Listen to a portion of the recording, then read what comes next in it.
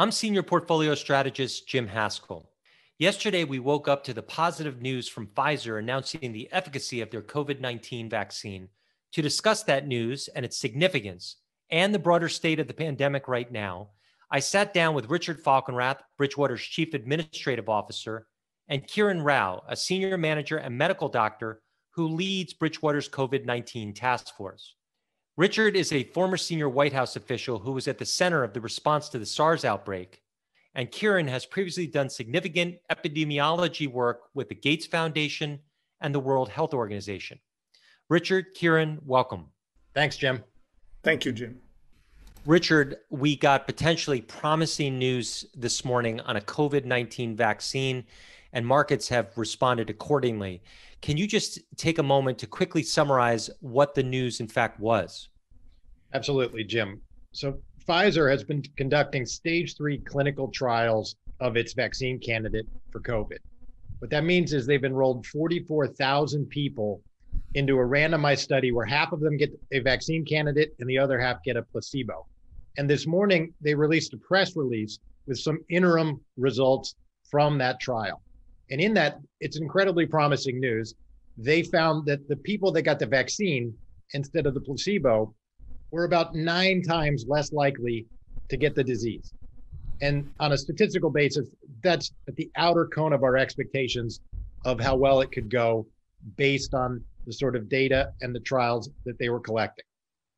Richard, you talked in the in our internal research meeting this morning about what we do know and then what we don't know about this vaccine. And I'd love if you could just relay some of those thoughts here. You sure, Jim? The what we don't know is a lot still. Uh, and just to give four categories of information that will come out in at later steps in the clinical trial. First, we don't know how safe the vaccine is yet. And so watch very carefully the next release that Pfizer puts out, scheduled for the third week of November, to talk about any adverse health side effects that the people in the trial may be experiencing. That will be very important. Second, we don't know about subgroup efficacy. So the data they released was about the total group, but we don't know, for instance, how the elderly or the immune compromised populations within that group are responding. Third, we don't know the duration of immunity once it's conferred. conferred. And finally, we're, we don't know yet if the protection conferred by the vaccine actually stops a person from being infectious, which is very important to getting the indirect protective benefit of a national or global vaccination program. Okay, so things still to come. Kiran, I want to turn to you and just just so everyone knows, Kiran, you've been an invaluable source to all of us at Bridgewater. So um, you you made a point uh, this morning as well. This vaccine uses a new technology, and uh, I'd like if you could to explain what's different about it than the traditional vaccines and the significance of that difference. Thank you, Jim. Um, this vaccine uses uh, messenger RNA, which is a form of genetic material of the virus. And there are two implications from that. The first is these types of vaccines have never been approved for humans before. So it would be a, an incredible but surprising result if uh, we got the very first vaccine right in the middle of a huge pandemic. But that'd be very hopeful indeed. The second is because of the nature of the genetic material, it needs to be stored at very cold temperatures, minus 90 Fahrenheit and so on, which makes distribution that much more difficult. So we are carefully watching the ability of countries and local governments to distribute the vaccine uh, to arrive at the right level of um, penetration.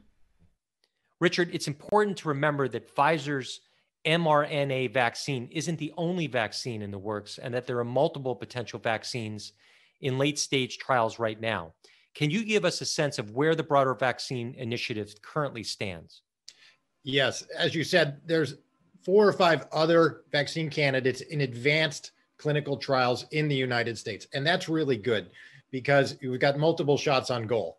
We're not sure exactly which one is going to become the most effective and the safest and the easiest to produce on global scale and then distribute. The US government is buying almost all of it. That's for domestic production. And that also is important because it basically eliminates economics as a calculation for these pharmaceutical companies. And the US government will then buy it for the entire population and distribute it to the people through the states. Other countries are doing similar things. But that then leads to one of the big questions that the vac- vaccination program raises, which is how many people are going to take the vaccine, even if it proves very effective and very safe, which are big ifs. And uptake, the amount, the, the number of people willing to actually go get this vaccination is something that will determine the overall efficacy of the vaccination program and how much indirect protection these these vaccines will confer to the entire population. And we don't know yet how many people are going to be willing to take the vaccine when it becomes available. Kiran, while we're waiting for a vaccine, there have also been various therapeutics we've heard about. Remdesivir, the Regeneron antibody viral drug used by President Trump, and overall, the fatality rate of COVID 19 seems to have fallen. Can you give us an update on how our ability to treat COVID 19 has evolved since the start of the pandemic? Yes, Jim. Overall, I'd say that doctors have been able to bring down the fatality rate by about 30% relative to the peak we saw in April, May. To put it in context, um, COVID was about 10 times as deadly as the flu. It's now down to maybe six to seven times as deadly. Now, there are two things that are driving this improvement. The first is what you mentioned, some of those drugs, but they're still having marginal or benefit, uh, marginal benefit right now.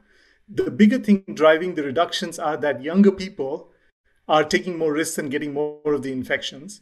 And thirdly, the fact that doctors have a lot of mind space when cases are low in the hospital. As we look ahead, we don't think that this is likely to persist as hospitals have the risk of getting overrun in, in a fall and winter resurgence. But mostly, I would say that till the middle of next year, um, we don't see any breakthrough new tra- treatments that might change this. And we still should expect COVID to be about seven to eight times as deadly as the flu this season. Richard, one last question for you. This news is obviously very good, and we're cautiously hopeful, like you counsel. But at the same time, the state of COVID 19 right now in the US and in Europe has actually been getting much worse over the past month or so. Can you close by giving us an overview of what's going on right now in terms of the spread of the virus? Right now, we've got a return to exponential growth in cases in many parts of Europe and in the center of the United States. And that is being driven by human behavior. There are no medical blocks to the spread of the disease. And the virus is basically unchanged from what it was when it started earlier in this year. And so what's happening is people have let down their guard and have begun socializing more. Uh, we're seeing relatively fewer super spreader events, more small group transmission, more transmission in sporting events and in homes. And as long as that continues and the virus is in general community spread, it will keep it's it will keep growing. And so until there is a vaccine or a herd immunity effect, which will not occur until 2021 at the earliest, the only way that these curves can be bent is by changes in human behavior, wearing mask, wearing masks, maintaining distance, not going into crowded, especially indoor places. And while people are still doing that, with this much virus in circulation, you will continue to have growth.